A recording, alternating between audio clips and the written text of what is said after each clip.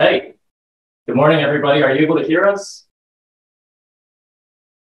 We know you were able to hear us when you weren't supposed to. Okay, yep, Oh, yep. yeah, Courtney, Courtney has been very helpful. Thank you, Courtney. Um, so, uh, we want to get started. Maybe quickly we can introduce ourselves. Um, after we do that, I'll share a little bit of an agenda for the day, share with you guys what we're going to go through. We think this will take about an hour. It could be a little more, it could be a little less. Um, so I'll introduce myself. My name is Al Thead. I work as a VP of operations at SmartDrone. Um, and I'm very grateful that you all chose to join us today, that you all chose to be here uh, during a work day and to learn about the product that our team has made. Hi, uh, my name is Michael Ash, and I'm the field application specialist team lead, as well as the field application specialist for the East Texas area, kind of our headquarters region. And I am the customer facing person that helps people with services as well as the uh, sale and support of the drone.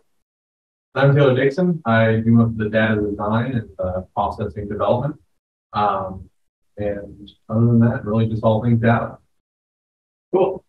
Um, so a lot of you, oh, a lot of you wrote in leading up to the event. Maybe you can see us this way. A lot of you wrote in leading up to the event. Um, over a quarter of you, I believe, are using LiDAR. That could be drones or terrestrial LiDAR. Uh, we got a lot of questions about processing LiDAR data, and we'll go through those questions in a second. Um, we've bulked all your questions into different genres or groups, and we'll also take questions live in the chat as we go through. So we're going to try to make it a discussion format and also a discussion with you. So if anything comes up throughout our conversation, just type your question in. Um, before we get started with all the questions that were written in and the discussion, we wanted to welcome Drew. Drew is our VP of Engineering at SmartDrone, and Drew has a Discovery 2 unit that he's going to share with us. He's going to share some of the features and upgrades um, and a little bit of voice from our engineering team um, and what we've been working on, and what's improved with the Discovery 2. So maybe Drew, hand it off to you. Hi, everyone. I'm Drew Whitehurst. Um, I'm going to take about a half an hour to go through our engineering processes and what it takes to make the Discovery 2 available for everyone. Just kidding. It's going to be about a two minute uh, quick introduction what this is. Hopefully, everybody's seen it. Um, you know, I hope everyone's having fun. We like to have fun around here. One of my goals is to stimulate questions from everybody and hopefully just let you know what we've been doing with the platform. I do have my notes, so I will refer to them. I'm not as polished as these guys over here. That's why I get to speak for two minutes. uh, so we're really close to the customer. What I want to do is make sure you ask questions. The fun thing is, is that this is touch base for our, our customers. So hopefully this is an engaging session. Hopefully what you see here will start to drive some of those questions. Uh, it's really important to me as, as the engineering person uh, because that's what drives our product. We really don't make this product in a vacuum. We've been really uh, engaged with surveyors and people like that uh, to build the product as it is today. So we go from feedback to the engineering process takes about two weeks. Then we spend another two weeks testing, about a week or two uh, to get it to our manufacturing process. So when we learn something new from the field, we can generally turn that around in about a month and a half. And that's pretty fast if you've been a part of any type of products like this. Um, what I'm going to show you today is our first version of V2. Um, if you guys have been following us a little bit, see Michael's videos, that's a V1. So it's a kind of a different platform. Um, we've reimagined a few things to get the camera on board uh, and then improve on a lot of a few other features. Um, so I'll just kind of go through what V2 is or what the Discovery platform is, right? Um, so underneath, we have our LiDAR, we have our, our, we have our camera, we have some quick disconnect legs that go in and out. And then our wings or our arms can fold out, and then you spread your cross. And so if you haven't seen it, it goes pretty fast. Um, the biggest, the biggest change, or some of the few changes uh, from V1 to V2, is has to do with our Herelink controller. So before we had a ground station and we had a different controller on iPad. So we've combined that all into one using this Herelink platform. Um, you plan and fly your missions uh, from here. It makes life easy. Very simple, very quick to set up. Um, the other thing we got is, uh, I think I didn't say it probably going too fast, but when we get these things in front of a customer. We kind of take their feedback and we also observe what they do and see how they use it. So a lot of little quality of life things that, you know, as us using it, it becomes, you know, simple and mundane. Uh, but when somebody uses it for the first time, you know, we see a lot of things that we miss. So this thumb, our thumb release for the arms is a very trick feature that we've added in the new piece um, from V1 to V2. Uh, you can see we went through these three blades. I think I showed them to you before. Uh, we did a lot of time on our weight balancing, our motor combination, ESC combination, and blade combination. Um, what we want is stable flight. We want to get into a little bit more inclement weather. So we're between 20 and 25 miles per hour comfortably. Um, we pushed it further, but what we would want people to do is stay under 20 and 25. We feel very comfortable with those flight uh, characteristics in that uh, wind range. Um, the other thing you kind of saw before is we kind of want this thing to be an industrial tool. When you see other things, you're kind of finicky on how you handle it. You probably see how I handle it a little bit. Uh, we do have the handle on top, which is something I'll go over, but um, nothing on here is very fragile. So you can see when you're taking the legs on and off, you can set it on its tail end. You're not really damaging the plastics. We built it that way. We built it for a reason. If you need to clean your LiDAR or pull your lens cap off or clean your lens, it's very easy and simple. I'll just swing it around. And so um, you can see a two-handle piece here. So we model everything up. I think you saw that our iterations go pretty fast. Is that we drew all this up, it looked good, um, everybody was happy with it. In practice, it was a little bit more cumbersome to use. So we've gone for a single balance handle so you can pull the system with one hand and put it in and out of your face. Um, the last thing, I don't have a demo uh, for it, but we do have a new case. Um, we saw the case was a little bit cumbersome to use before. So we went to a lighter case, a smaller case. What we've done is we've taken our batteries out of the case uh, because we've seen that people just take their batteries to their charging station. So we have a standard and pro model now. So the standard is exactly what you got before, um, the chargers and the batteries. Uh, but our pro model is basically you can fly a whole day with it and the charger's built into the case. Uh, and that's pretty much all I have. Hopefully that answers some questions and hopefully spur some other ones. But I do appreciate the time that you guys are taking. We've got three questions for you. Okay. Can missions be built on a van? You skip any of these, don't worry, because we go over them. But can missions be built on a computer and brought into the remote? Uh, well, that one's easy, yes. And then uh, two for you. What kind of temperatures can it withstand? And then please share about the endurance and wind resistance. Okay. So the endurance and wind resistance is that one, or I thought that one would come. Uh, the temperatures. So we've flown it we're in East Texas. Um, I'm not sure what our elevation is, but that was always a question, thing, 360 feet. Um, it's been very hot this year, and so we've flown in 100 plus weathers, weather. Um, all the system and sensors and everything fly just fine. We didn't see any degradation in the uh, flight characteristics of the system. Uh, we did learn something that the hotter it got, uh, we found a nuance in the system. And so we've got that put to bed. Um, as far as cold, uh, your batteries will, doesn't matter what battery you're using, they'll won't last as long in cold weather. So if they're cold so you will get lower flight time. Um, I'm trying to think. We've flown it um, probably in 20 to 25 degrees constantly here during the winter time, like November through February. So that's kind of our comfort zone that we've tested in. We hope that as we extend our FAS network, that this is something that we can expand upon and do, you know, different types of testing, elevation testing, and things like that what was the other question? The endurance? Uh, yeah, endurance and wind. What kind of wind? So the wind, the wind is 20 to 25 mile an hour gust. Uh, that's what we're looking at. You with the three blade system, we you know really it's about the delta that concerns me. If you have a 10 to 50 mile you know per hour delta, so that's like 10 sustaining to 25 mile an hour gust. That's really what blows it off. Um, if you get, you know, we have seen gusts, you know, up to 30. Well, we've seen gusts a lot higher. We we pushed it we, we had a lot of wind probably two months ago, um, and we really pushed the limit on, on what the system can do. Um, we didn't put one down, so we feel very comfortable when we say 20 or 25. And so the endurance, you know, everybody asks what flight time is. Um, because there's so many varying factors, we really want 50 acres. And what we mean when we say 50 acres is that you launch the system, you can run it about a quarter mile to a half mile away, do your 50 acres, and then come back safely. And that's how we really quantify it. So if you're thinking of planning, you would pick like a middle location in your plot. and then send it, do your 50 acres, come back, swap out batteries, send it, do 50 acres. Uh, and that really, you know, that helps you run through the system. Okay, I get all the questions. Uh, maybe two more. Okay. All right. How would you compare a system like this to a system like they gave an example of a specific DJI drone? And I'll take that and make it more abstract, which is how do you compare like this system to a DJI where they're adding a sensor package to the drone? Um, and then mountainous terrain was the question. So, okay. So the uh, Michael might be better on the mountainous terrain, uh, just from a planning perspective, because that's really what it all comes down to. Um, but I can answer that quickly. So the first question was to DJI or any other type of platform that has a bolt-on payload. So we are a specific industrial tool, right? Um, the thing is, is that the whole system's integrated. You don't worry about it. We the the silly things that might seem silly or, or, or go along subtle is we really want the least amount of touch points that you can get. And landing gear is on our list of things to uh, simplify or either integrate fully.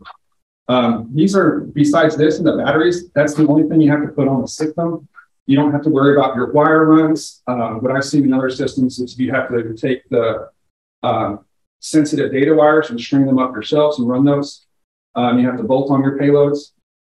That's not really the target that we're going for. Um, you pull this thing out, you're in the air in probably two minutes. You're probably faster. I think we go up too fast now. Our GPS needs to get a GPS lock so that we can get accurate data. But um, that's kind of the difference. So you can't put on multiple payloads, but maybe that's something that people have requests. That's something that we would look at. But uh, that's that's kind of the other. I guess the other piece of it too is that, like I said, it's kind of an industrial tool. So it's not a one size fit all tool. So you saw I can open it up. Um, people with other systems kind of cringe if we just pick it up like this and we just carry it around like that. Um, you know, like I said, set it down on its tail end. It's pretty uh, ruggedized. So that that was our intent. wasn't to build a flying system to bolt anything on. It's really about making an industrial tool that is similar to other tools that people use uh, in space. And so mountainous terrain, I think you guys will talk about that maybe a little bit more. But um, we'll be glad to. Okay. But yeah, mountainous terrain, I think we'll talk about the height characteristics and the terrain following.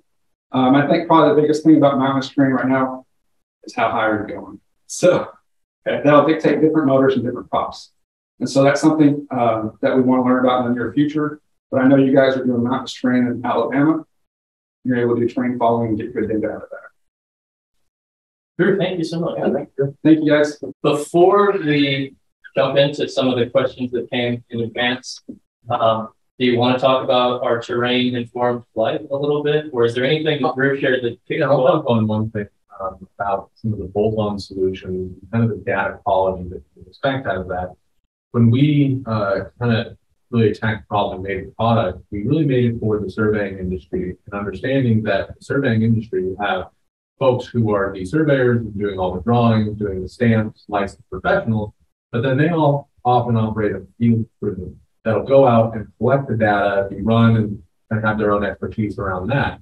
And so we really made this to work with a field crew. So they don't necessarily have to be the LiDAR experts. We made the tools easy enough to use and kind of deploy so they can rely on getting that data to you every single time with consistency. And then we actually have one more question. I think you'd be right up the alley with the answer, Taylor, but it's, it's about the camera. So they're just asking about what LiDAR sensor and what camera and what kind of camera is put on the. Sure. Um, we have that a little bit later, so I guess we'll kind of attack it now. Um, the LiDAR we utilize is an Ouster LiDAR. Uh, what's really cool about that is it's a spinning, uh, it's kind of a mixture between a rotating LiDAR and a flash LiDAR. And uh, it allows for a lot more robustness because inside of it, it's more robust than, say, a Velodyne system that has multiple lasers. Um, so it gives us a lot more longevity with the product using that type of light. The camera, we also we use a global shutter camera that integrates directly into our uh, payload and is paired with the LiDAR and the IMU very closely. So that way, with that global shutter, we don't have to worry so much about extremely windy days causing bunch of blur in the image or anything. And so we really tightly control our camera models and our lensing models. That, that gives us some of the features that I'll talk a little bit later with some of the questions about how we do our uh, orthomosaic generation. Yeah, and then you guys could might touch on terrain following a little bit? Yeah. Yeah, that'd be great. Yeah, so to answer that terrain following kind of that mountainous condition uh, question, uh, we've, uh, the engineering team has been able to add terrain following into our planning software. And what that allows us to do is take a fairly low resolution terrain model of the earth and import that automatically into our mission using a checkbox. And so, uh, of course, as with any UAS operation, you should be maintaining visual line of sight and you know double confirming that it's following the terrain properly. We can now follow terrain, which really eases up the mission planning uh, side of things. That the uh, you know checking all your altitudes, finding the perfect launch location, and stuff like that uh, has been eliminated. Thankfully, uh, it's making a lot more user friendly. Yeah, that really helps with challenging terrains. It is historic data, so it's not actively collected data. It's coming from public terrain and elevation data, and that's why we keep an eye on it and we pay attention, like Michael talked about. Um, Michael, we have some questions that are about um, topics that I'm seeing that we do have in the slides. I'm wondering if for a foundation, will you share with us this, the processor that we use? So um, for the audience, Drew shared the hardware part of what Smart Drone produces, which is the drone and the collection device. Um, and we always say collect, process, deliver. The delivery is on you, uh, but the processing part is the other part, and it's a piece of software this is a piece of software that isn't a subscription model to use. When you make a discovery to purchase, this is a piece of software that gets installed on your computer. Um, and what it does is it automates the majority of the LiDAR and photo processing steps that you would need um, to start delivering really useful information. So, Michael? Yeah. So I'll just pop this processor up right here. All right, looks like it's up there. So this is our processor, and this is going to answer that GTP question that's on the chat as well. So first thing we do is we'll click and we'll find our mission file that we want to process. And that's as simple as just finding your file, going in, and then you're just directing the processor to the uh, file. Click open there. You'll set your uh, system, the zone that you're in. You have all the uh, states available. You can go to your base station. And so the way we derive our accuracy using our uh, drone is using PPK corrections from a static base recording an observation on a known point. And the way that works is instead of having to put ground control targets out, shoot them in with RTK, we're able, to, we're able to correct the path of the drone using our onboard APX15, which is an Applanix, uh, the Trimble product made by Applanix. And that allows us to give post corrections uh, for the drone to get that two tenths accuracy for one foot contours. Yeah, I'll, I'll kind of uh, expand upon that a little bit. We definitely did a lot of learning when talking, as Drew said, working closely with surveyors. And we realized that while we could build an RTK solution that keeps that connection and offer a base station with it, most surveyors already have across their base station that they've integrated into their field with. So it's really important to us to uh, be able to use the base station that they already have as a part of their normal operation to uh, correct all the drone uh, path and make our LiDAR accurate. Yep. And so as we continue on the processor then, using their base station, they're able to import the point values that they want. So this is comes in really handy whenever you're working in a, a scale factor environment or something like that. Uh, you input your base coordinate and the drone data will project relative to that base coordinate that you input, uh, which comes in really handy, like I said, when you're dealing with a scale factor, like for a TxDOT job, for instance, would be one of our local instances or something like that. You can also add in any RTK shots that you've taken uh, that you've exported as a text file. You have the ability to add into our processor, choose the delimiter, and then it'll pop up a window that allows you to choose the east and northing and vertical component, as well as the shot label. And then we can also select our output grid distance. We can put that uh, that finished result of how far away all these points are from each other into any any setting that we want. We have a checkbox where we can process the LiDAR data or widgets. Just to chime in on the grid distance, because one of our questions later on talks about that 25 or 20 foot grid as an example. So right when we're at this step, uh, I'll clarify. When we click process, we, we also uh, put out a one foot ground grid. And this grid distance is subsampled or decimated from that one foot. So anywhere where we did get data, um, we have a one foot grid.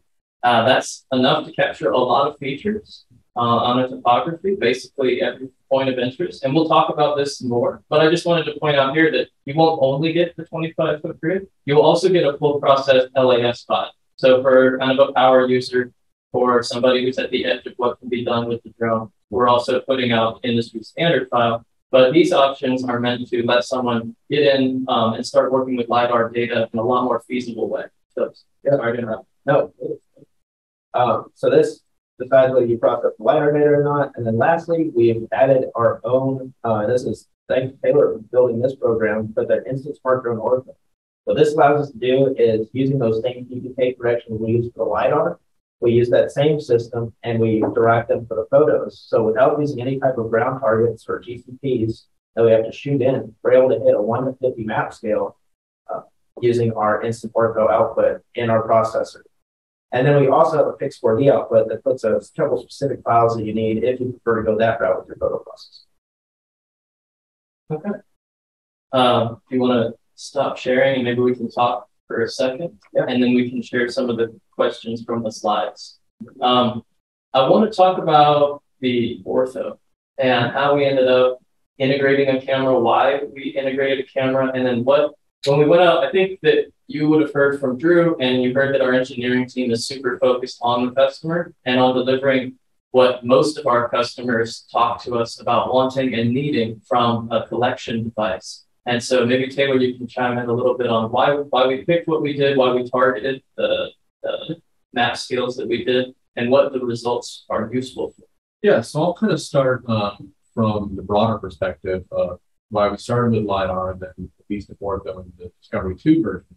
Um, with the LiDAR data, we really wanted to get our feet underneath us, uh, drive into what the surveyors were asking for today, which was ground shots to kind of stop having to hike through the jungle and taking shots you know, with the sticks and kind of accelerating that workflow for them. And then when we uh, delivered that data and that data product to them, they said, well, this is great, but often in, on most projects, I also need an ortho to compare that to or to lay our one foot lines over.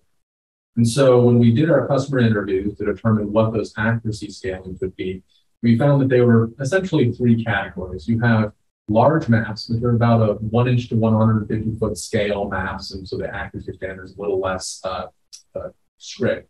And then, which was kind of the class three. And then you kind of had a middle area of a one inch to 50 foot scale map for a lot of one foot contour maps, project, uh, kind of summary maps and stuff like that. And then even below that, you had a one inch to 20 foot scale map, which had a lot of uh, strict criteria, especially when you're dealing with Alta surveys and other uh, products that come off of that uh, level of accuracy. So for our first release, we targeted the one inch to 50 foot scale map. And to do that, we kind of had to go through the process of starting from the ground up with the camera and linking it to our Trimble based uh, Planix in order, and of course, doing all the lens modeling and the uh, necessary steps for the direct georeferencing component of it. So Michael mentioned that we don't use ground targets, we don't put that burden on your field crew in order to go out and kind of set the ground targets right, collect them right, and kind of make it more robust by just adding that direct georeferencing feature and then building in on the back end uh, and testing uh, heavily within our own QC processes to ensure when we ship, we can hit that one inch to 50 foot scale map. And um, and I'm kind of shot. Uh, I'm not sure I know the answer to, but uh, when we export, when we're processing, the user can still use like a Pix4D with ground targets if Yeah. they want to take it that far. That's right. So Yeah. as I mentioned before, we do a one inch to 50 foot scale map, for most, which is good for most contour projects, larger land projects, stuff like that. If you're really trying to take and say do an Alta survey on a parking lot where you want to contour lines around that, we, you will collect the LiDAR at the same time you collect the photos. And then at the end, you can process with the Pix 4D option as you showed. And what that does is it exports a exterior orientation file. So if you've used Pix4D before, the first step is always bringing in your pictures. And then the next step is bringing in all of the locations where the pictures were taken. And then Pix4D will kind of do its magic and do the photogrammetry to adjust those slightly to improve the accuracy with those ground targets.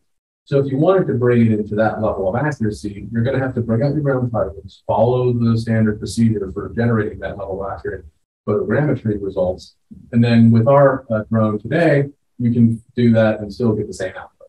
But then, of course, if you don't feel you need to go through that amount of rigor for that project, you always have that one inch to 50 foot scale coming out with the instant ortho. This is huge. Um, I see some questions. I want to get us started on track with some slides, uh, with some prompting, and I'm going to read some of the questions as we get started. I'll probably take the first slide um, because I think it's about the price of the drone, and then I might have a chance to read some of the questions as you guys share with the rest. Um, so, like I said, I bulked a lot of the questions into groups, and uh, I'll just share the slide every time we get to a group, and then we will all probably just look at the slides together and have a conversation where you can see our faces a little bit. So, a lot of folks wrote in and asked what the cost of the drone is, what the cost of a complete kit is, and then uh, what is the cost. I tried to remove any type of redundancies. Uh, so the entire Discovery 2 package comes ready to fly with all the software we talked about for $65,000. Uh, we're able, there were questions about availability, which I'll talk about more at the end, but we're able to ship within the US at this time. Um, mentioning again, everything, the processing software, that's all included. Uh, Drew shared with you some developments like a kind of pro model charging case. And there are potential for accessories that you could add, like a charging case that make it easier to uh, do larger missions in one day uh, or to do more missions and cover a larger acreage. Uh, and those things will be coming along and we'll be putting some pricing on those things soon. But when you buy the Discovery 2 for 65000 it has everything you need to get started and hit the ground running collecting data right away. Anything else on that? I would just like to reiterate that from the get-go, our main uh, thesis was, hey, we want to give you the hammer to make sure that you can hit everything. And so our processing is all included, and you can process it all in house. Absolutely. I guess one more thing on having that all included package is you only have one support line to call. You don't need to call a separate person for the LiDAR sensor, the software you're using, or the drone platform that you're using, or try to figure out which one's causing the issue. You talk to us, it's all an in-house system, and we can find a solution for you. So all right, we're going to jump to the next slide and I'll provide just a quick Taylor uh, and Michael both. When you look at the differences between an aerial LiDAR platform and terrestrial LiDAR, what are some things that stand out? And then while you're sharing that, I think I'll go ahead and read some of the questions and see if I can sure. some ready for us. So um, a terrestrial LiDAR system, especially when we're talking about, about a total station, um, we'll go and you'll set it on a point that is measured or you're planning on kind of measuring in post. Um, and that's going to give you very accurate, very um, precise, colorized, local kind of picture points. And then through software, you can kind of match those up or however you interpret those and bring those in. Um, with the aerial LiDAR, our target is really giving you wide swaths of ground points. And so we focus a lot of our software towards developing and uh, filtering out trees and getting a large distance. So if you have like a terrestrial total station, or even a truck, um, going through and trying to map 400, 500 acres is going to be a lot more challenging than with an aerial platform. Okay. And I have some cool questions here. Um, one is detailed about the field of view the LiDAR and the camera and whether you need to plan the mission more specifically to collect both at the same time. Uh, and it's a perfect transition into the next slide, which kind of talks about that. So we'll hold off there uh, because those questions were about how the RGB and the LiDAR interact together. And then I have two questions that talk about a warranty and maintenance and support. So I'll start by saying we are a new company. We're fresh in a lot of ways. Um, we think that our success is going to be based on taking care of the customer. Like you heard Drew talk about listening to the customer, but it doesn't stop before the sale or in engineering or after the sale. It's our job to stand behind this product. And as a, a company getting our start, uh, we're not going to be successful unless our customers are. So for two years after the sale of the Discovery drone, it's covered. So your manufacturer's warranty, you can do it as. You still take responsibility for safe flight operations. Um, and when it comes to maintenance and support systems and turnaround time, so we've restricted where we serve to the US at this time. This allows us to courier a drone out within a couple of days uh, anywhere in the country. Uh, so we've had experience now sending out uh, units for troubleshooting or for supporting a customer in the field. So our goal is to have a unit in your hands and help you keep making money as quickly as we can. If a customer is near one of our FASs and our service people, we oftentimes can send them out to uh, finish a job for you and help you keep being productive with the system as we work on the drone. Um, for preventative maintenance, we include that for the first two years. And as a new company, we see uh, taking the drones back, uh, depending on use. This is an hourly thing, and we're going to inspect the bearings, we're going to inspect the drone, make sure everything's tight, and we're going to learn from that. So uh, today, when you make a purchase of a Discovery unit, you have a lot of coverage by us as a company. There's a lot of sort of white glove service that goes into launching a new product um, at this scale and uh, and then really standing behind it. So we don't have a lot of the things that talk about you know automated processes for tracking everything. We will continue to build those, um, but right now we stick with good old fashioned communication and uh, just kind of standing behind what we sell. Um, so next up, I have questions that have to do with how the RGB and LiDAR interact together. Sure. Um, so I saw the LiDAR field of view and camera field of view. And I'll kind of answer that in just a second, but I'll start at the top with, um, does it stitch the images together or do we don't need to join them? So what we've done is, is I mentioned, as I mentioned before, we really focused on a direct geo-referencing strategy when we developed the So that means that in our manufacturing process, we built in more sighting techniques to make sure that camera is clearly lined up with your uh, operating uh, INS system, and also that the lens is calibrated to a high degree. So that way, when we go through and we perform the um, triangulation of those images, uh, we can be certain that they're going to match the accuracy standards that we see in the LiDAR as well, because very high accuracy INS product. Um, so in short, no, we don't need to stitch them. Uh, we provide a TIFF right out of the uh, process results. And that TIFF you can drag and drop into uh, ArcGIS, QGIS, Civil 3D, um, and other uh, whatever planning software you're using. What type of targets are used?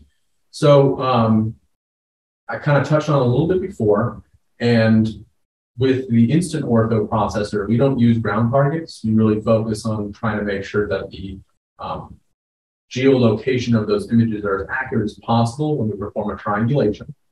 Eh, but if you're going to be trying to achieve a one to one inch to 20 foot scale map, we suggest using your standard ground targets uh, that you would use within your Pix4D processing workflow that you've either been playing around with, with other drones or uh, that you're kind of learning for the first time.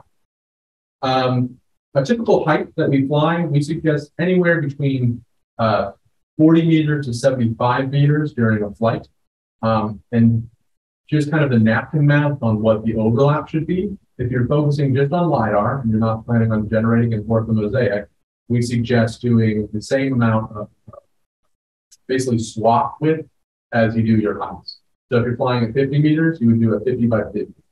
Um, and then with if you're generating an orthomosaic, we suggest cutting that down by half. So if you're flying at 50 meters, we suggest doing a 25 meter overlap. Now, I will say that one of the um, keys to getting good LiDAR results through heavy vegetation is bringing that swath width down uh, to where if you're going through like Louisiana kudzu, you're probably going to be thinking more around the lines of like 10 meter spacing. Uh, so that way, as you're flying over that area, you're collecting more data, getting more chances to have that LiDAR penetrate through the canopy. And so um, with heavier vegetation, you will have less flight area, but um, the time saved flying and, versus climbing through all of that is very apparent to some of our customers in that area. Um, so work with LiDAR and take pics at the same time? Absolutely. So that's a main feature of the product. Uh, we, when you fly, you capture the LiDAR and photos and all of the data required in order to make uh, the accurate LiDAR product and the accurate orthos off of that. Um, and then, as I mentioned before, you can use Pix4D with the Pix4D option and carry that through if you're looking for something more uh, uh, more accurate, kind of that one to 20 foot scale, or if your workflow, that's kind of what you're used to, uh, we work right into that. And then I'll take the last one with the advantage of LiDAR over aerial photography.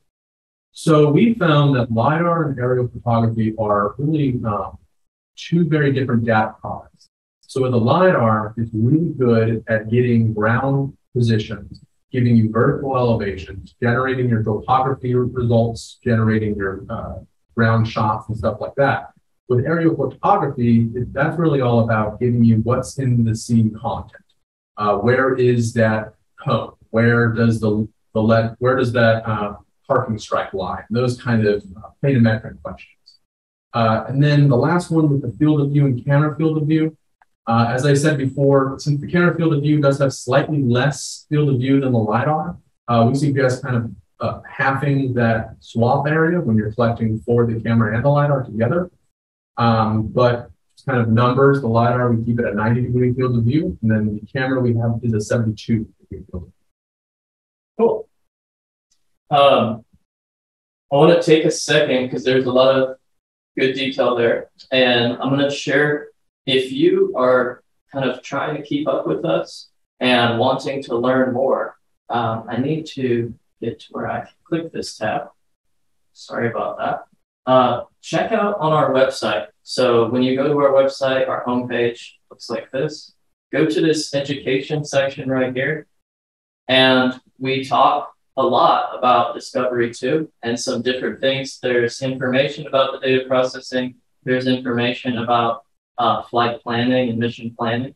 And um, so if you want to kind of take the discussion today and take it a step further, that could be a really good opportunity to learn. And we continue to update the YouTube with uh, tons of great information. So I will look through and kind of share with uh, some of the things people asked about with applications. And uh, then Michael's going to share a little bit about the data. Um, he has some process data. He's going to share with us an ortho that we've generated and what that looks like and what the benefits of that are. And then possibly open up the data in um, Civil 3D. Some of the later questions more talk about that. So if we don't get to that in this first section, that's okay. So share an application example. So Michael is going to do that. Uh, we have a question about contours on a 1 to 25 foot grid. How do you keep, catch ditches in between the grid shots you use? It's a really good question. I think with the one foot grid, we captured massive amounts of information. Um, and there are ways that you can go further than the automated processing, and we deliver the full LiDAR data. So user uh, we may not share it today, but I do believe we have a video on this on YouTube that talks about cutting up the data and using it in different ways.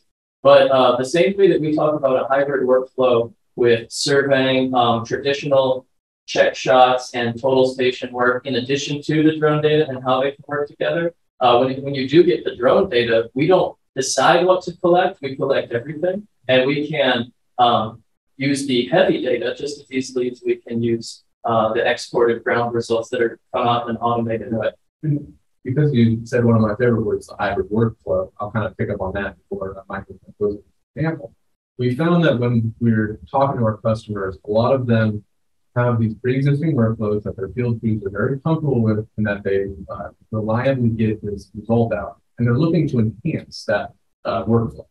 And so for stuff like ditches, um, curb edges, top toe, and stuff like that, typically we see that people that adopt our system will still go out and do their accurate top of toe ditch shots and stuff like that.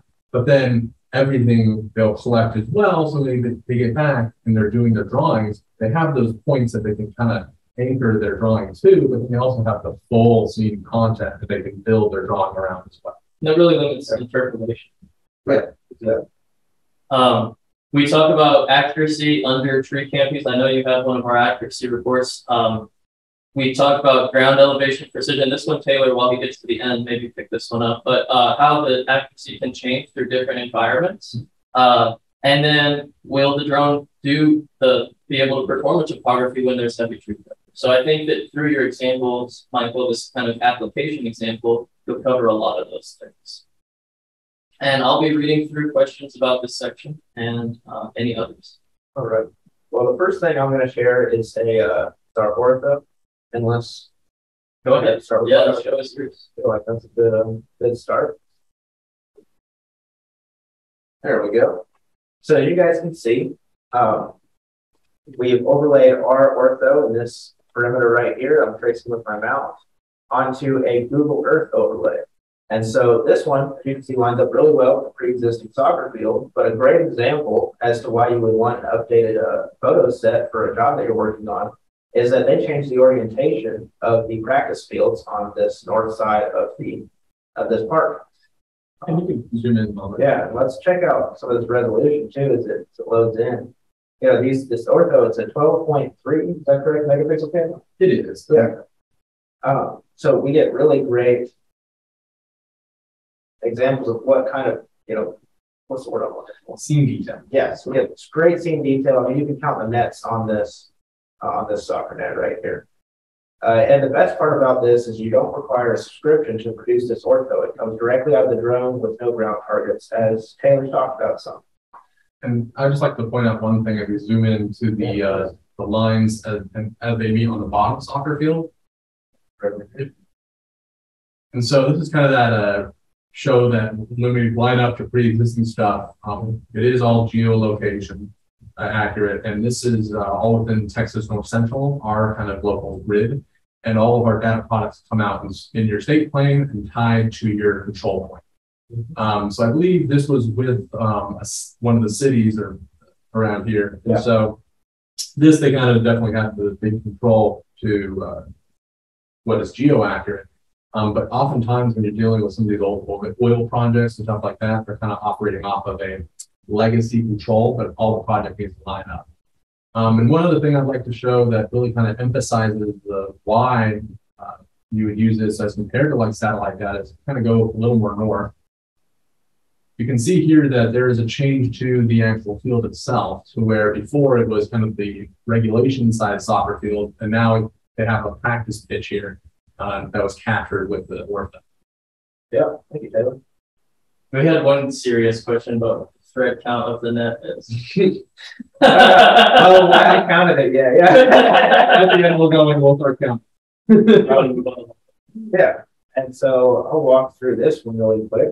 It is. I will share when we when you move the screen, uh, sometimes it's going a little slower than it was when we tested it. So make sure that be aware. So I'm going to bring in everything here first. So our output from our processor, as Al talked about earlier, is this entire cloud, you know, every tree, leaf, branch, and you can see the cards even in there in the data a little bit. And then our processor is also going to output a one foot grid. So this one foot grid gives you the ground, you know, this is inside a vegetated area where my mouse is over here. And then as you can see, this is a wide open area where we got just fantastic resolution on the ground. And this is all subsampled as well. Um, and then we take that one foot grid it's rasterized and really uh, our two tenths accurate result. And we subsample that even further to be able to use easily in your CAD software. So this 15 foot grid would go straight into Civil 3D and you can generate your contours with relative ease. And what uh, outputs are each of these? Because I know the full resolution one is the LAS industry standard. Yeah. So our full resolution, as he said, is an LAS. Uh, we can move it through, you know, various different uh, high-level softwares and such. It's fully compatible. And then our smaller outputs, this one foot grid and the 15 foot grid that's up on the screen right now, is what's called an XYZ. But when we boil that down, it's a text file, very similar to what comes out of your collector tablet and imports into your CAD softwares in the same fashion uh, by just adding a point file. Hey, can you bring up the strip of tree data again? Yeah, sure. So uh, I want to point out this section as an example of how you could achieve a hybrid result. Mhm. So when you quick process with the SmartDrone processor, you end up with the full LAS. You end up with a one foot grid anywhere where we have ground strip shots to a high degree of certainty. And then you end up with the subsampled or decimated result. And if you wanted to create a surface with a hybrid uh, result, you have to put in a little bit more effort. You'll have to learn to manipulate the data just a little bit more. We do provide videos and training, and we can work with customers on how they can do that. Um, but the same way that you have every tree, branch, and leaf in this strip, you can imagine cutting out different sections of data that haven't been subsampled or decimated or that, that seem useful to you. And you can merge these results very easily and you can generate a surface from merged results. So if you had a specific feature that you can see in the full LiDAR result, you can cut features like that out. You can learn to manipulate them a little further than the automated processing, and you can really take it a step further. Yeah, thank you, Al. Can we talk about just bringing that grid in as a surface really quick? Absolutely. So when we, uh, we'll pop over here to Civil 3D. And looks like it's up on the screen. So you guys can see this, the contours that we're able to generate.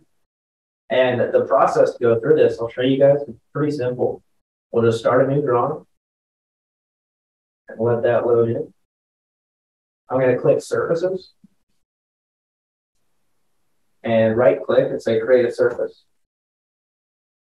We'll go through and we'll pick the surface style we want. Typically, what we hear people want to develop is a one foot contour. And we'll click OK, and that'll populate there, and it'll automatically change that second one as we continue in. So now we'll click this plus sign, click on surface one. We'll open up this definitions tab, and we can just select point files. All we have to do is right click, select add. We'll click this green plus button on the right side of this pop-up window.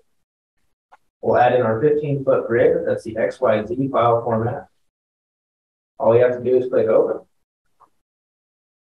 And then as it loads in the points, we'll scroll down and we're a space delimited east, north, up file. And we'll click OK. Now it's going to load these points in. And as soon as it's done, we can select surface, right click on it, and select zoom to. And now our contours are geolocated in CAD. Uh, and if you already have a boundary survey done, survey done, and it's in the same system, when you pop this in, uh, it'll go in just like your other points where it'll pop inside your break lines and your boundary. It'll cut off the extra data, and it just I mean, it fits right into your workflow, just like a topo lateral collector tablet. That's cool. Uh, so we're coming up soon on an hour, and uh, we're going to keep going through this. If you have any schedule limitations, if you have any um, anything coming up uh, that would prevent you from continuing to watch with us, we're going to be recording it. So it's a good time to remind you this is being recorded. It will go up on YouTube. Um, and we've also had people reach out to us throughout the process, say, hey, make sure you're recording it and send it to me after. We'll follow up with you all by email and send you a link once this is on YouTube. Um, and that way you'll have a chance. So if you do have to get out of here, that's okay. Um, but we will continue going through the slides. If you'll bear with me, I got locked out for one second. All right, so I have my slides here. I'm going to share my screen again. And I'll share with you guys each of the questions from this one. Excuse me, everybody. So we talked about application examples. Uh, I'm going to combine the next two a little bit, and I will share the questions, and then we can have a discussion again. So uh, what are the biggest misconceptions with LiDAR drones? What limitations do LiDAR drones have? Um, and then talking about our system specifically, what's the max flight time? And some of this we've already covered a little bit, so we might go a little quickly through it. That's okay. Uh, and we might miss some of it because it's already in the recording. Uh, different system info we think is relevant. What sensors are being used? We have talked about that. Do the drones use a satellite link or operate independently? So we will try to figure that out. And then what is the warranty for the drone? We've definitely talked about that so far. So uh, getting started, what are some limitations and misconceptions about LiDAR and LiDAR drones? Yeah, I'll of kick off that one. Um, I think when I started my career in attacking the LiDAR drones and uh, really developing the product, you know, you kind of start off with the idea that, wow, this is really such great technology and we're, this is really going to take over the industry and it's going to like just be gee whiz LiDAR drones flying everywhere. What we learned with limitations is that it really is about making it a tool for the surveyors that they are comfortable working into their workflows and that they are comfortable using within their uh, drawings and license stamps kind of concise output to their civil engineering clients. Because while surveyors can, can consume all of this data and in-house surveyors with civil engineering firms do, typically the drawing output their stamped results is really what the end product is going to be. And so while the collection and the technology is all um, great, what we're here and what our limitation is really to service and provide the best data to our surveying clients. Yeah, they say we just don't want raw data. We don't want just the raw result. We want a lot of the process performed for us, and that's where the processor came from. Right. And I think we kind of split up, you know, I think the question was limitations or I something. can but- pull it back up. Um, we can split that up into two different sections where we have one, like our drone itself, if you purchase it, you'll be able to go out and fly these things on your own. You'll be able to process the data with our included processor. Um, and that'll do like ninety-five percent of the workload, and then there'll be some slight, you know, manual manipulation of the data, and then you'll move forward to your finished product.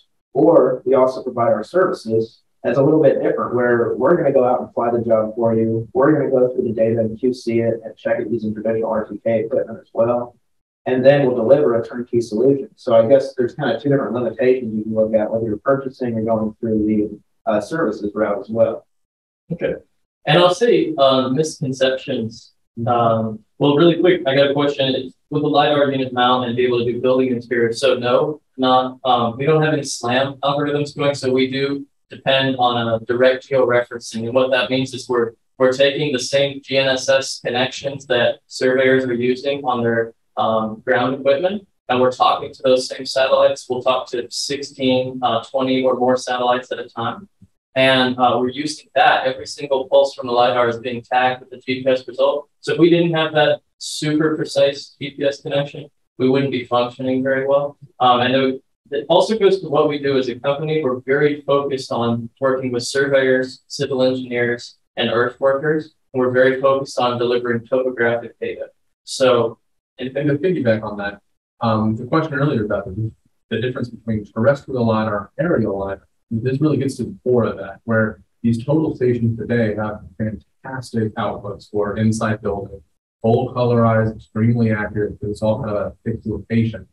Um, with the aerial LiDAR, again, we're really good at getting large mass coverage, giving you the entire scene and getting that field crew enhanced so that they're not spending, say, a month on a large job. They're spending a week using our LiDAR to get all the hard stuff and then working it into their hybrid workflows.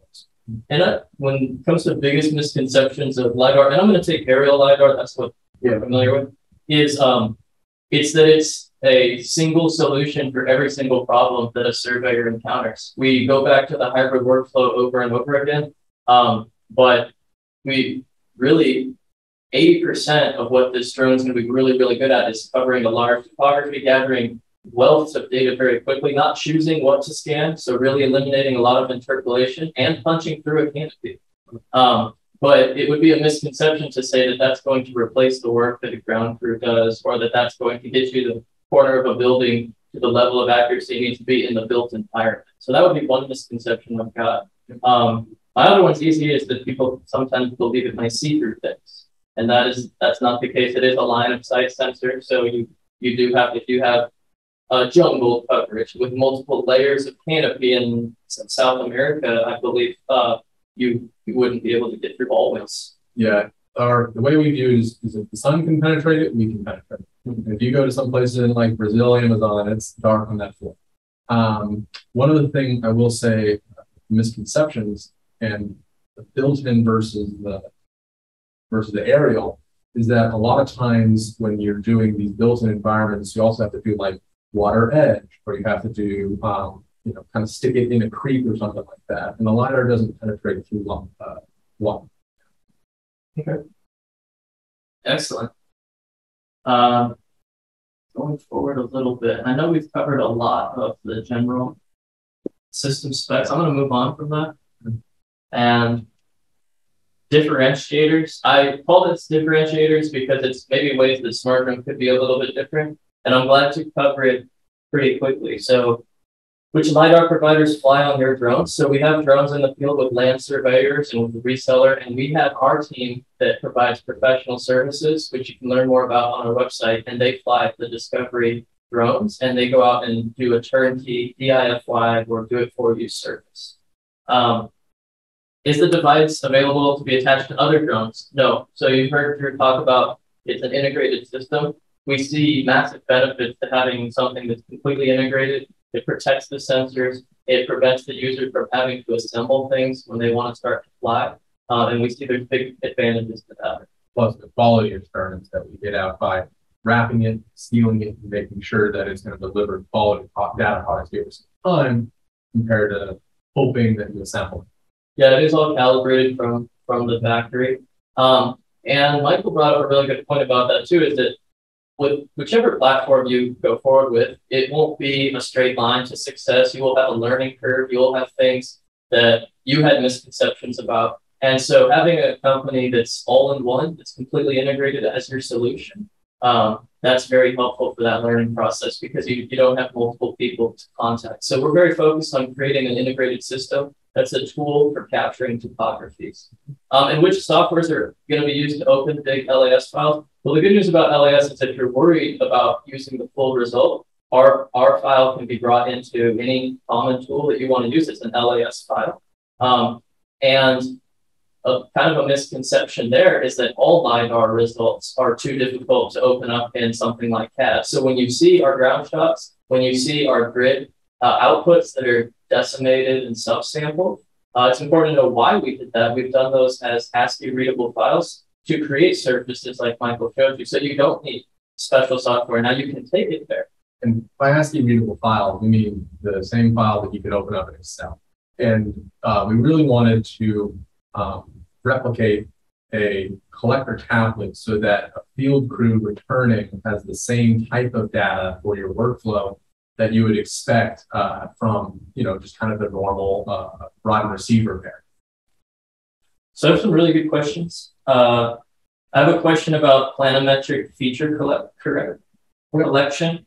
Um, I don't know if we have an example right now.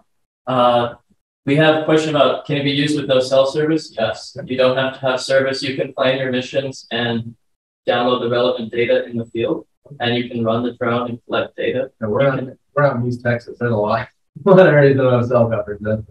Yeah, and you can also process the data in the field for a preliminary result uh, that doesn't have the base corrections. Is that right?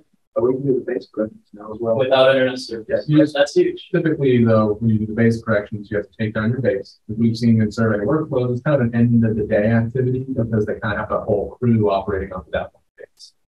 Okay. Um, and any current plans to offer an upgraded camera? I'll let you take that. Um, so right now we're really honing in the uh, the camera outputs and offering kind of the uh, Ford model. You can have any Model T as long as it's black. Um, so that way we can assure the quality with that one lens system. Uh, as far as upgrading our camera, we really focus on deriving a spec-based output. So for us, this is a machine that gives orthomosaics and not necessarily uh, 20 megapixel full hyper resolution single images. So when we set out, we knew our accuracy from just kind of the math around the INS system, and we derived that an inch GSD would really kind of be the target of um, ground sample distance that we could achieve and really want to achieve before we kind of push even further. Uh, and with an inch GSD, you're typically talking a 120 scale map. And with the amount, right now, we're typically operating around two centimeters, 1.5 centimeter to two uh, with our highest GSD ground sample distance. Which is under an inch. yes. Yes. Yeah. Um, and I see some questions about specific projects. Feel free to reach out on our website, uh, share project details. We often use a KML or a KMZ to communicate apples to apples uh, what what a job looks like, and that helps us to be able to say whether it's fit for us or not from a services perspective. Yeah, and also we're employing new service members all throughout the country. Uh, yeah, so there's a lot of states we can't reach north in the country at this time, but as you know, the next six and twelve months goes on, that should change. Um, also, as we do a lot more uh, testing in different topographies and elevations, we talked about with some good feedback on early. Um, so data processing questions, uh, and really quick, just so everyone knows where we're at. I think we have just one more slide. So we're starting to get toward the end. If you have any questions or things you've missed, feel free to share them. If we don't get to them here in the next few minutes, uh, we'll try to get back with you directly. Um, so data processing, we can see some different questions on the screen. I'm not going to answer these ones. Uh, I'm just going to share them. So can it be processed in-house? Should you use a consultant? Does your processing software have the ability to generate a break line? Will your results work with any software? Are they compatible with AutoCAD I'm also thinking a couple of them. Hold on. So, and then what are the computer specs you recommend? So I'm going to stop this, the slide. Gotcha. There we go. So, um, can the data be processed in house? Yes, absolutely. And that's um, really the way that we designed it so that the surveyor has full control over their processing. They don't have to worry about their internet connection and their upload, download, all that jazz. Um, should be processed by a consultant. The automated processor is going to bring you all the way to that one that one foot ground resolution as well as GSD and orthos. Um, typically, any further uh, processing, reach out to us. We love ha having our FASs in the field help uh, with kind of instructing through. And we've seen it takes maybe two or three times when you kind of get the full uh, integration into your workflow with the process. Um, does your process have the ability to generate break lines? No. When we talk to surveyors, we've really seen that the break line generation is very scene dependent. And so there are tools out there like Topodot, um, or uh, frankly, if you kind of work with in Civil 3D, you can kind of derive some of these break lines as well. Uh, but as far as just automating the break lines, I think there's a lot of ways we could uh, uh, go awry and start to step in on some of the responsibilities of and wants of any uh, survey outfit. Um, does it work with any software? So again, we output a, uh, the XYZ ASCII file that replicates the rod and receiver uh, tablet that you have.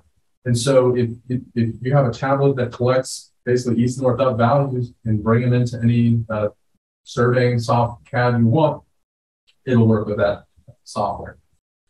Is it compatible with AutoCAD Map 3D? I don't use AutoCAD Map 3D. I'm not sure what that is. We use Civil 3D on a regular basis. Yeah, we use- have to look at Map 3D. Yeah, Map 3D, and just as a uh, aside for the orthos, we output as a GeoTIFF, which is kind of the industry standard uh, for outputting ortho mosaics. That GeoTIFF is well-known text stamped, meaning that when you bring it in into any uh, GIS software, it has all the state plane information that it processed to, and it's also brought to that control point. So um, when you're operating with it, you can kind of trust that that's going to line up within that one inch to 50 foot scale map accuracy. Um, and then what are the computer specs recommended? I guess you guys have more experience in kind of what the computer is processing. Yeah, I'll talk about it. And on the compatible softwares, we have people that are using Bentley products, MicroStation, Civil 3D, Carlson. Um, our field services crew members use Carlson. Uh, we also are very familiar with Civil 3D. But like Taylor said, being an ASCII readable output, uh, we're able to bring that in just like work from a tablet, and we don't run into a lot of or really any compatibility issues when you're trying to bring in the ground data. Um, there are a lot of uh, there's a lot of context and background information people have about LiDAR in general when they think about trying to bring the full LiDAR file, many gigabytes, into some of these CAD softwares. Um, and so that's why we've chosen to go at it from a different way that really empowers the customer. Um, computer specs. So we can process the data all the way down to like an i5 processor with about 16 gigs of RAM. Uh, if all you're doing is taking the results from the SmartDrone processor and then taking that and putting it in CAD, um, that is all you need. The data is going to process very quickly. We also have computers on up to the newest, most modern specs, and also with more RAM. And where that benefits you is if you want to start manipulating the data, if you want to start dealing with larger and larger jobs, having that all loaded into the RAM really speeds up the process. There's a lot less crashing. And so what you can do is you can upgrade just the computer's RAM, and that can make a big difference. Um, but we're, we're able to run things on very low spec computers. And that's a big part about not having the surveyor change so much of their workflow. Uh, so you can do this without a lot of processing horsepower and you can get great results. Um, and you can start to edit the data. But if you notice that you're dealing with waiting for load times and things between steps, that's where you might look to do something different, but it's not a requirement. Yeah, if I could piggyback on that, like I was saying, it's all about the size that you're working with. So if you're flying uh, two flights for a job, so it's you know 100 acres max basically the job, that i5 like 16 gigabyte is going to be great. Um, but as you move on to like five or six flights that you're trying to edit and you know sync into ones, then you know maybe you'll consider a slightly higher grade processor and maybe like 32 gigs. You know, so it's all very linear um, as far as like what you need. And but yeah, I was using I don't know seven months uh, on an i5 with um, with pretty low RAM uh, until recently we upgraded it. So yeah, and again, it's all, really all about time, especially as you uh, do this instant ortho. There are basically steps of working images, correcting them, and so um, the, you were kind of mentioning that this new computer that we just got, it really cuts down the time processing as well as the amount of editing. So. Uh, so you can get started with very little. Uh, question, and um, I'm going to let you, Taylor, take us through some of the prompts on the processing questions and how you learn that. Before we get there, um, two good questions here. So, can you process other drone data in the SmartDrone processor, and is the full point cloud classified? Sure. So, with other drone data, uh, we do a lot in order to tailor uh, our sensors to each other in order to provide accurate data set outputs. And so, no, um, our processor is tailor made for this system and, uh, and specifically tailor made. And all right. And, and uh, yeah, so it's tailor made for our system, and we uh, really hone in around uh, making sure that the data you collect off of ours generates accurate results. Um, and then the other question was about that you got off the prompt. Yes, so is the full point cloud classified? Um, we don't do classifications for object features. Uh, there are a lot of cool software that you can bring in our LASs into that'll do that classification for you and and stuff like that. Our main focus is really classifying those ground shots and making sure they're accurate. So that way we can essentially go through and provide uh, accurate topographies and really put all our efforts into that. Awesome. Uh, so we have a few slides. I'll make it so that you can view these, Michael. Uh, and we'll just share here and then we'll kind of close out.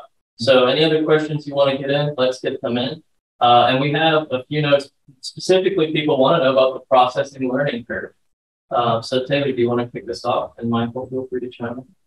Well, I think um, the processing learning curve, as far as working with the processor itself, is very simple. We kind of walk you through uh, what it looks like to use. Um, very similar to setting up to like a base station or anything else within a civil 3D project, putting the base station coordinates in, lining up your check shots, clicking go. With the learning curve afterward, you get the uh, results uh, of the ground shots and those subsample results, bring them into Civil 3D, and that's kind of that first step. And then um, using kind of taking the next step of okay, I wanted to go do a very intense uh, Louisiana mission. And processor, I have this gap here, which I want to grab a point off of. Okay, well, how do we walk through and kind of do some extra stuff on top of that to fill any holes that automated processor misses? Uh, I don't know, Michael, how long would you say it takes to train a customer to kind of uh, a couple days, I would say, of uh, you know, and that's included with the purchase of a drone. But the uh, the software CloudCompare looks pretty intimidating at first. There's lots of features which make it a really great program to use. But uh, I'm sure you guys probably remember learning your CAD software and how it was really, really overwhelming at first. And now, as you go through and use it on a day-to-day basis, you just find more and more features, and you get faster and faster with it. And uh, this CloudCompare software is the same way. So as you continue to use it more, it's just like a muscle. You'll just you'll get stronger and faster, and you'll end up being able to do things you didn't even realize you could do. You mentioned a couple days. Um, is that that includes that's kind of our deployment process when we uh, deliver. Do you want to kind of go over a little bit of that? Yeah. So when we deliver a drone, we include about two days of training. Uh, we'll teach you how to fly the drone. We'll teach you how to plan the missions, assemble it, charge the batteries. You know, really just everything you need to know and then we'll also teach you, you know, we usually spend a majority of the time teaching how to get that data into the processor, process it, which is a pretty simple process, and then go over to CloudCompare and look through the data, subsample to different, you know, grid sizes. Uh, we had a question earlier about like uh, creeks and the rest of the data. So if you wanted a 50 foot grid on the entire job and a 10 foot grid and a creek line, you know, we'll show you how to do all that stuff. And it's really pretty simple to do once you get it, uh, kind of get the process going a couple times you just learn it and it's yeah it, it's a walk in the park after that. And I, and uh, two things that come to mind. First uh, after that initial training it is typical that customers will have more questions. That's why we output a ton of videos. It's so that we can spend some time on the phone understand what the goal is or what they're trying to do with the data now or what they're stuck with and then we can share with them something really easy to fall back on if we're not there. Um, and I'll say that when it comes to learning uh, to use the data at a higher level, the nice thing about this platform, giving you results that you can use from day one, is that I've seen a lot of customers looking at different LiDAR products and they stop this, they stop the purchasing process as soon as they realize how much goes into processing the data.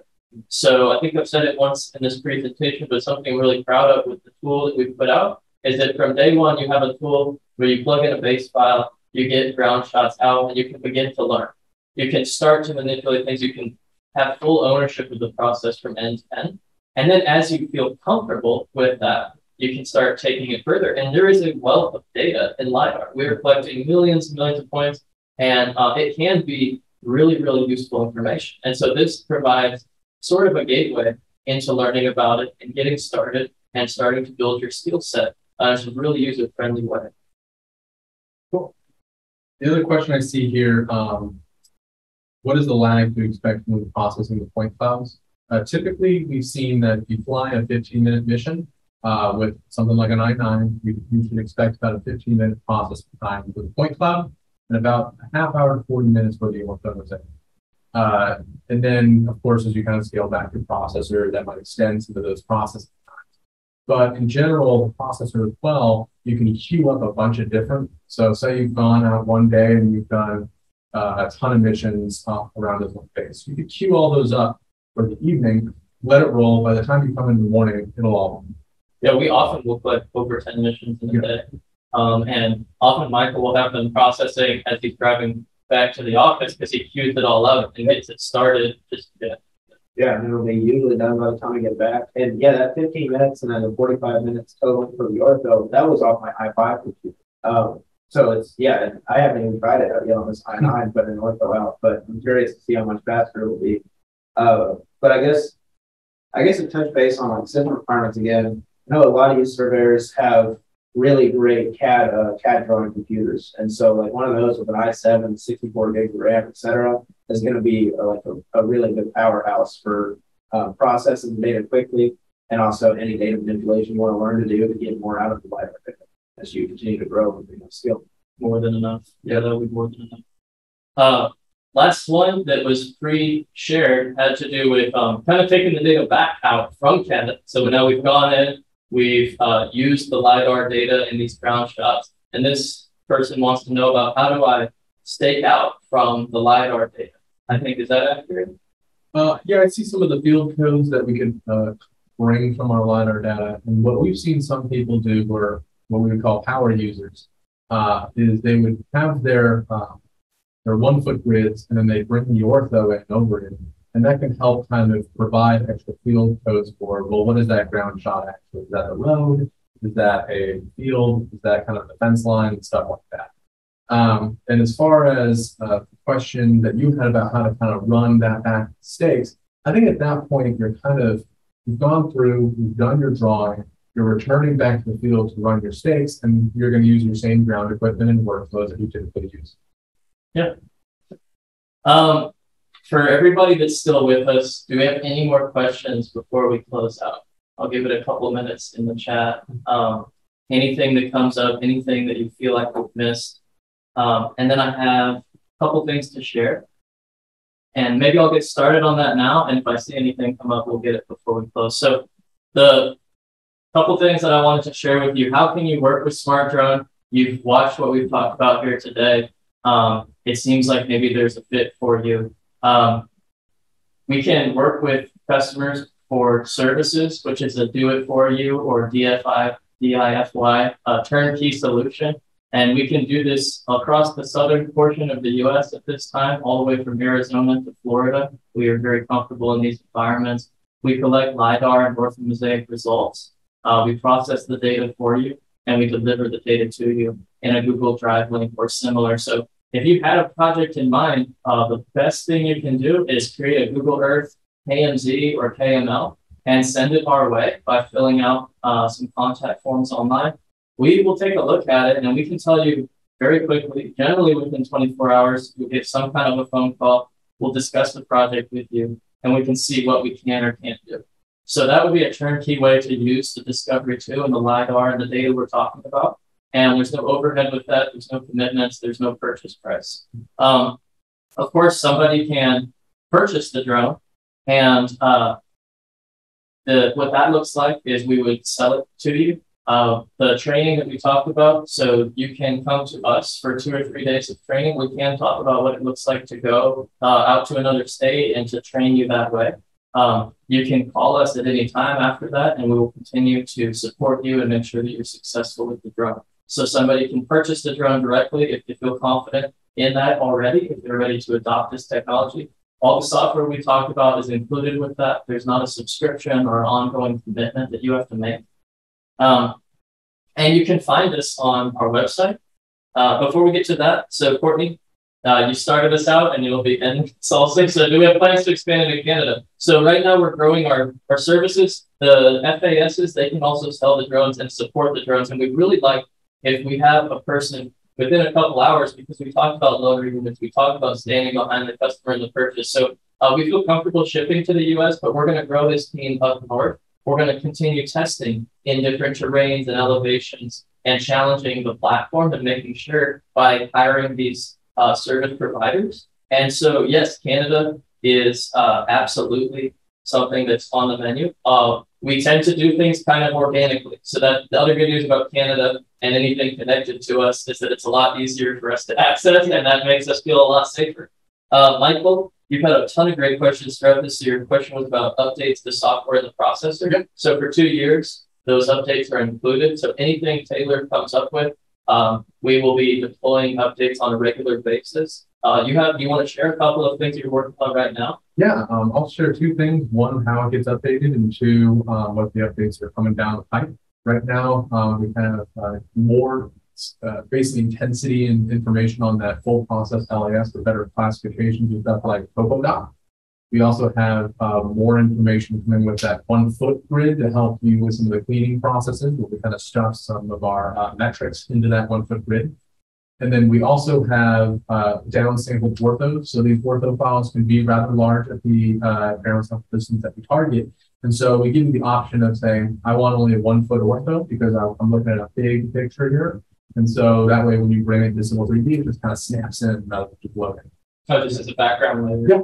And as somebody that uses this data fairly often as the services department, um, I, I, can't tell you how excited I am. Some of the tools that Taylor showed me uh, that he's going to be adding into the next couple releases are going to really make it easier as you, the customer, and also as uh, you know, my services guys are getting out there to figure out which points are the most reliable based on how many points were used to derive them and that, you know, one foot ground grid and tools like that are going to make it so much easier to visualize and so much more reliable uh, of that kind of looking through the data.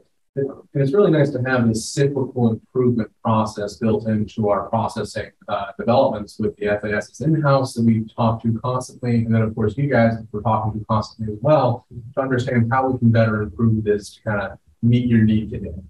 Absolutely.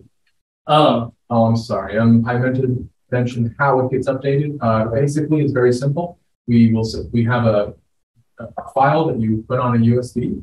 You plug it into the drone, you power the drone on, it recognizes that it's the updated file, and it'll update it automatically. Absolutely. Thank you.